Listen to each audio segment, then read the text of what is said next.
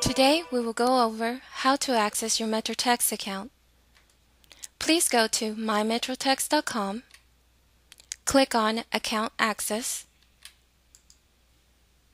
Your login ID will be your license number with a zero in front. If this is the first time logging in, your password will be MetroTex all lowercase.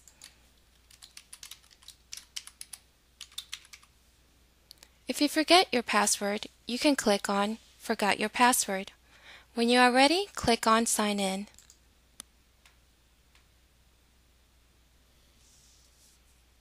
Here, you can set up your profile with a picture, write a personal biography, register for classes and events, update your information, and manage your billing. Please search our YouTube channel for more information on the subjects. If you need assistance, please send an email to support at dfwre.com.